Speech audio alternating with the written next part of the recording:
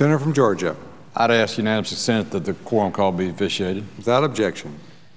Mr. President, uh, I appreciate the distinguished majority whip, and I voted with the distinguished majority whip last week on the interchange fees on debit cards. I thought it was a good amendment. I thought it was the right thing to do. But I take issue.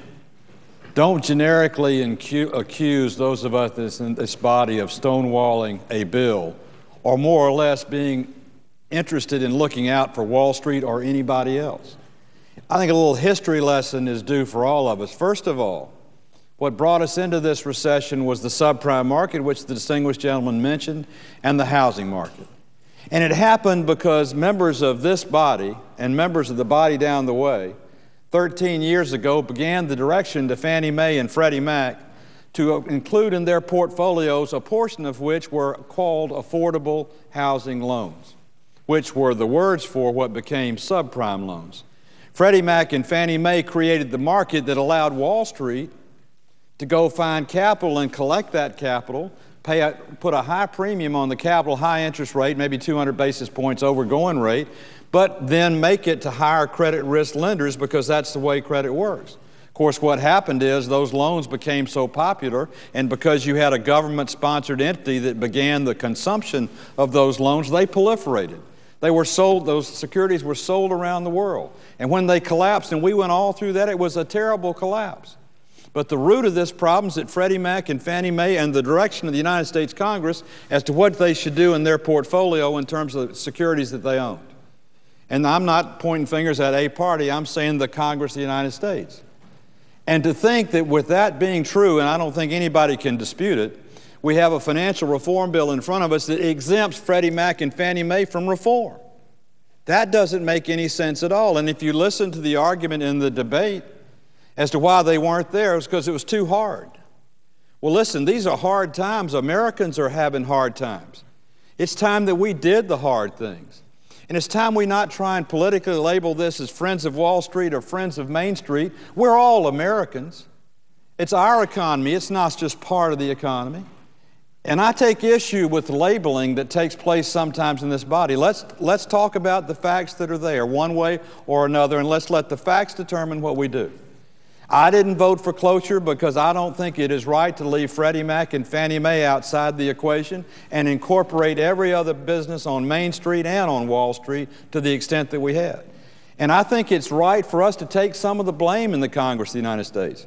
A lot of this wouldn't have happened had we not directed the government sponsored entities that we had influence with, and the implied full faith and credit of the United States taxpayers would be the consumers that would create the liquidity for subprime loans. So, my only statement to the distinguished majority whip is this I understand facts. And the facts are that Freddie Mac and Fannie Mae started this. They're exempt from this piece of legislation. And I, for one, take issue that you cannot reform and address the concerns that happen if you don't address all the root of the problem.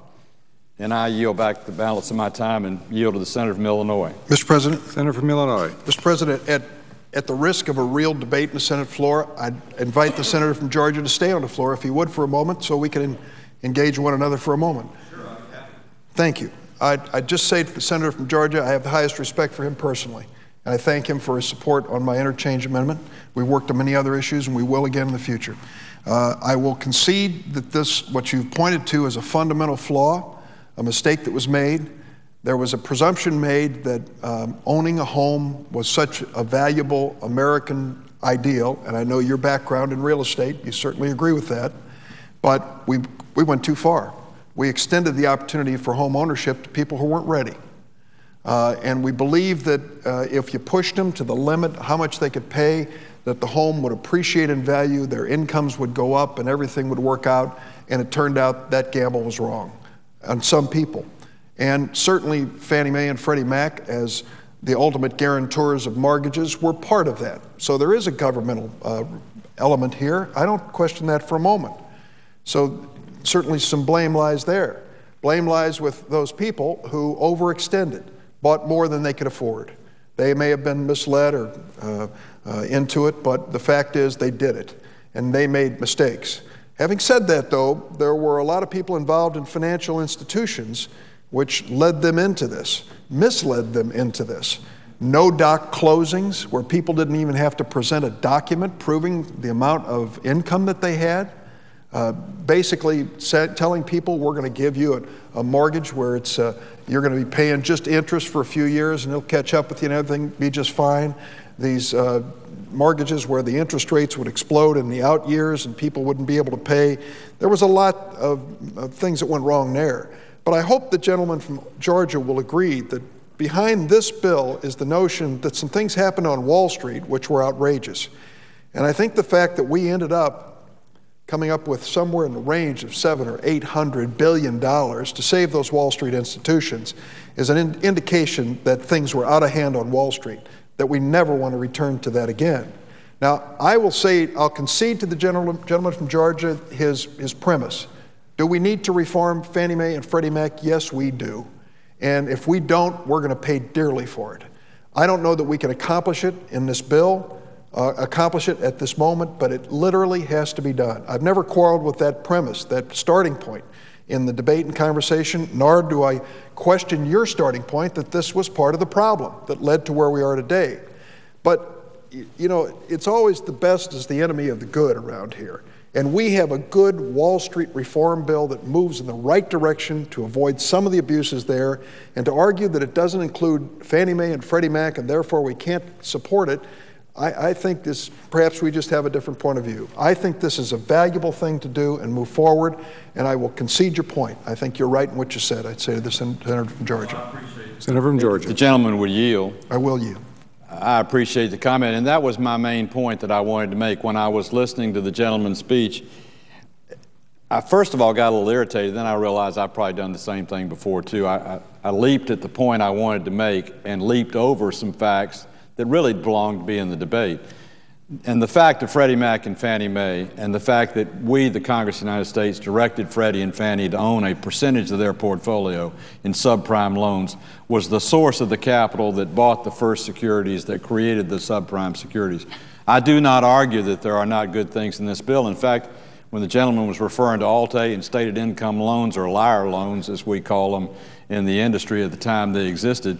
It was the Isakson Landrieu Amendment that we successfully added to this bill that defined what a, what a qualified loan is to be exempt from risk potential because it requires, as stated, it requires income verification. It requires an employer statement that the employee is hired it. It requires an income ratio that's sufficient to retire the debt that's borrowed. And I agree exactly with the gentleman what he said.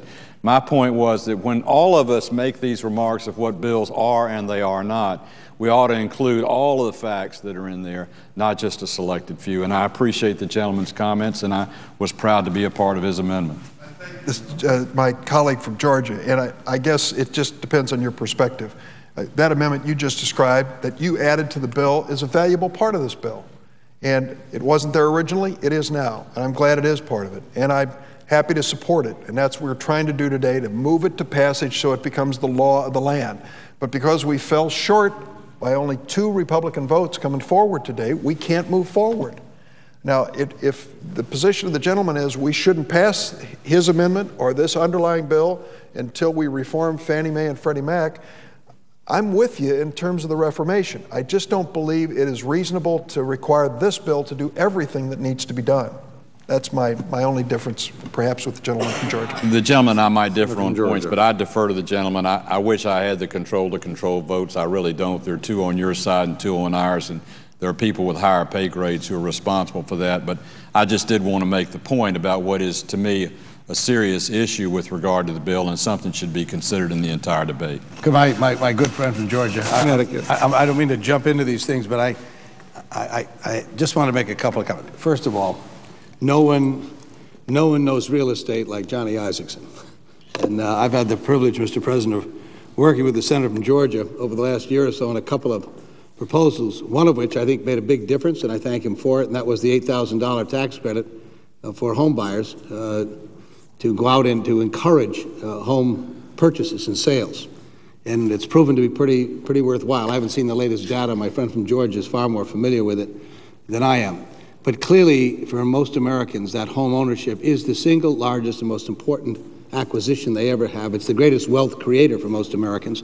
As the senator from Illinois points out, that traditional trajectory where equity increases and people use that equity over years to help in their retirement and uh, student loans, a variety of things that they, they need as a family.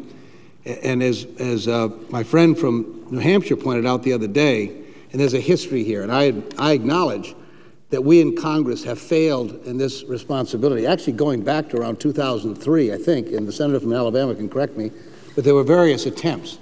Uh, a good friend of ours, obviously the former chairman of the House Financial Services Committee, Mike Oxley, a, a member of the Republican Party, offered as chairman of the committee over there. They actually got one done.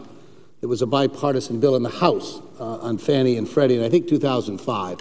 It then came to the Senate, and things got bogged down over here. There were various attempts, including the former chairman from Alabama offered a proposal as well. Senator Sarbanes did back and forth, and we didn't get the job done. And I think it's important during times like this when we're not hesitant to point an accusing finger at other institutions for having helped create this problem. We in Congress collectively did not get the job done with Fannie and Freddie. So I joined him with my colleague from Illinois. I think it's important we acknowledge that. If we're going to be sitting there and accusing other institutions for malfeasance or misfeasance, in this case, we should have done a better job at this. Here's the problem. As the senator of New Hampshire pointed out, and I'm quoting him, this issue, to quote him, this issue is too complex for this bill. and the reason is, is we don't really know what to, what to replace it with at this point. There are a number of ideas floating around because all of us recognize we need to have a housing financing system in place.